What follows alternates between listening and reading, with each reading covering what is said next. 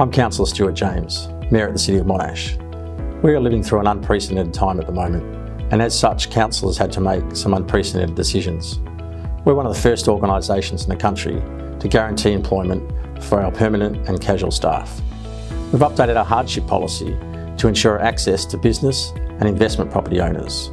We've reduced our interest rate on rate deferrals down to 0% for at least the next 12 months. We've suspended our footpath trading fees and will refund any traders that have paid anything from the 1st of March onwards. We've suspended fees and charges for our community groups and sporting organisations, and we've updated our CEO delegations, so in the event that Council was unable to meet, she will be able to make decisions on our behalf. Those decisions will need to be vetted by councillors at least 14 days prior to taking effect, and will also be published on our website seven days before taking effect. We're working hard to ensure that our essential services continue throughout this time.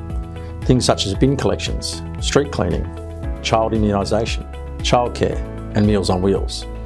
We know that isolation is a major concern in these times and we're in regular contact with our elderly and vulnerable residents. We're increasing our online services and programs available to you through our website and social media channels. We've always been there for you and will continue to be there for you throughout this crisis. But most importantly, we'll be there for you to help you recover at the other side. In the meantime, I implore all of you to take seriously the advice of your federal and state governments and stay home where you can. For those that need to leave your house for shopping or for work, please ensure you take care and maintain your social distancing. This is a great city.